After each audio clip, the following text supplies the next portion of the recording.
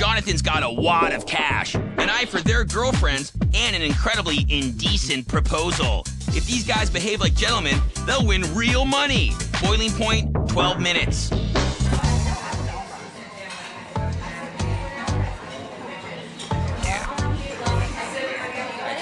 your night.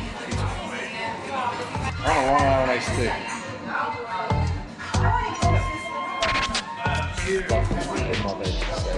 evening. Is everything okay? Wonderful. Yes, are you having a good time at the casino?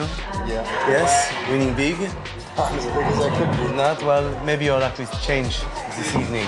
Cheers to you. Thank you. I'm David and this is Irene. Hi. I'm Jean. Hi, John. This is Felice.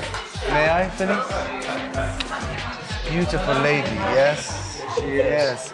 Uh, Trying to get it in? I always try and get it in. Don't try too hard. so, are you guys married, yes? Not No. quite yet. no. You're together for how long? Are you trying to uh, size her up for the taking or something? You're engaged? Getting there. Getting there? You guys are wonderfully beautiful couple. Absolutely beautiful. Your eyes are like diamonds sparkling through my soul, as they say. She gets a lot of that. But please, before you go to the bathroom, why don't you place yourself a bet? If you see a slot No, machine, just gonna go to the two thousand dollars. No? Okay. Brian, You gonna sit down? I'll sit and talk with you. I have a business proposition for you. Okay. If it involves her, I think you should leave.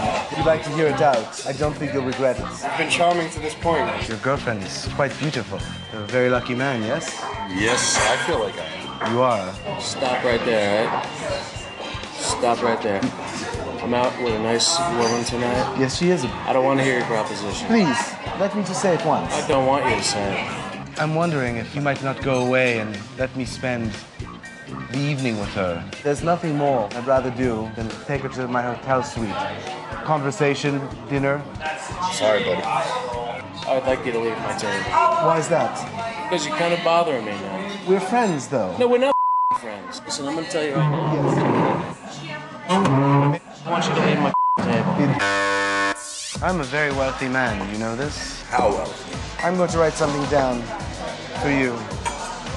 It's a figure, so we don't have to speak of numbers, yes? Don't make an offer, please. Just look at this figure. I saw it. Please. Please, let her make the choice. You walk with this. I've been polite. Please stop. I'll give you $30 million for you to disappear and for me to be able to spend an evening with her in my suite. Just me and her, nude. I can't do it. For $30 million? No.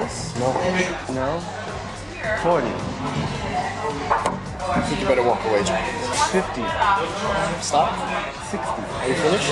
70? You should walk away while you're ahead. 71 is my final offer for you. John, please.